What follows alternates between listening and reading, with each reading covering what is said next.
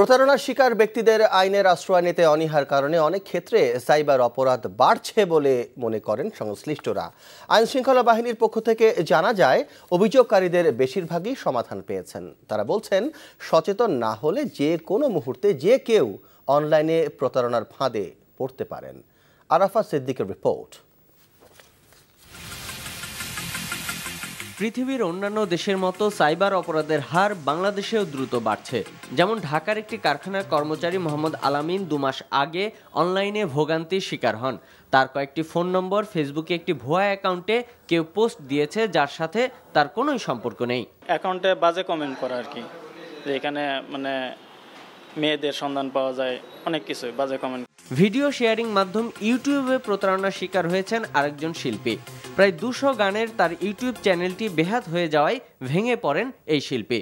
একটা মানুষের দীর্ঘদিনের স্বপ্ন লালিত একটা স্বপ্ন এই স্বপ্নটা আজকে এই সাইবার ক্রাইম অপরাধের মাধ্যমে ধ্বংস করে দেয়া এটা আমি মনে করি একটা মানুষকে হত্যা করা।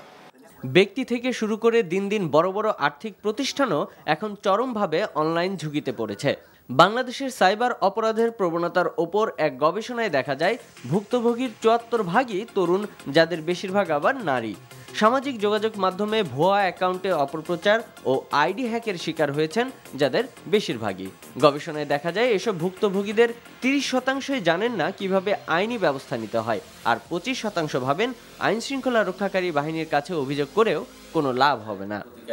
তবে আইন শৃঙ্খলা বাহিনীর সংশ্লিষ্ট বিভাগের পক্ষ থেকে জানানো হয় অভিযোগের বেশিরভাগই সুরাহা হয়। দুই হাজার আঠারো সালে আমরা এখানে ভিকটিম এসে আমাদের এখানে এসে কমপ্লেন করেছিল সতেরোশো পঁয়ষট্টিটি।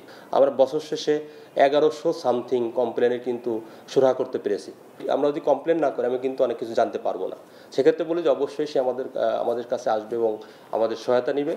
শহরের চেয়ে গ্রামাঞ্চলের মানুষ বেশি সাইবার অপরাধের শিকার হচ্ছে জানিয়ে সংশ্লিষ্টরা বলছেন সবার আগে প্রয়োজন সচেতনতা।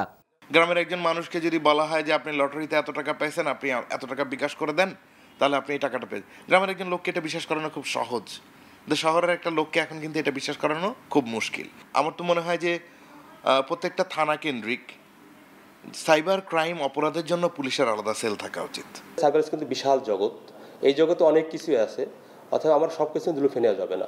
আমাকে যা কিছু করতে হবে নিজের বিবেক বি- বিচার বোধ এটাকে তাকে প্রয়োগ করে কাজটা করতে হবে। Arafat Siddique NTV news Dhaka.